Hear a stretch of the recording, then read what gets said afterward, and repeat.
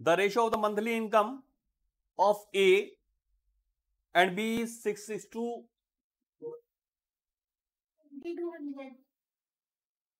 six is to five है. Twenty two hundred बताया two thousand two hundred six to five and their monthly expenditure are in the ratio four is to three monthly जो इनका expenditure है four is to three है. ये देखो बच्चों, ये क्या है इसकी? सैलरी है और ये इसका एक्सपेंडिचर है।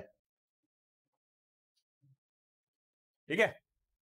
ये सैलरी है इसकी और ये एक्सपेंडिचर। अब देखो, बहुत इजी क्वेश्चन है।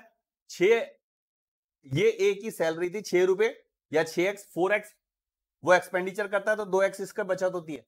इसकी सैलरी फाइव एक्स थी, थ्री एक्स एक्सपेंडिचर करता है, टू एक्स बचता है। ये वाला जो कंसेप्ट उसी में लागू हुआ जिसमें इक्वली दोनों में रेशो समान बचता है ना? इसके पास भी दो अनुपात है इसके पास भी दोनों अनुपात है और वो कहता है दोनों को बचत जो करते हैं प्रत्येक व्यक्ति 400 करता है यानी 400 इसके बाद बचता है 400 इसके बाद बचता है। ये मैं तुम्हें समझाने के लिए वहाँ तो फटाफट किया करो है ना? तो दो अनुपात की वैल्यू ये है तो एक अनुपात की 400 will be divided by two और ये कह रहा है इन दोनों की मासिक आय बताइए क्या? अगर दोनों का योगफल पूछ रहा है तो सिक्स प्लस में फाइव इक्वल टू ये आ गया ये काट देते हैं बाईस सौ will be your answer two will be our answer